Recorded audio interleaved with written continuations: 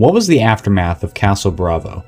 In 1954, Operation Castle was a series of high-yield thermonuclear design tests conducted by the United States at Bikini Atoll in the Marshall Islands.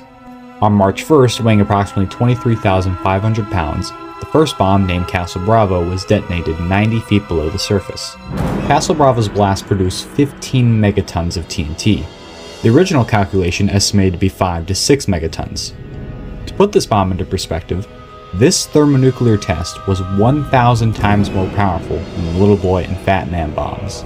The result of Castle Bravo had an estimated 665 inhabitants of the Marshall Islands overexposed to radiation. The fallout spread traces of radioactive material as far as Australia, India, Japan, United States, and even parts of Europe. To this day, the incident of Castle Bravo remains as the largest thermonuclear device ever detonated by the United States.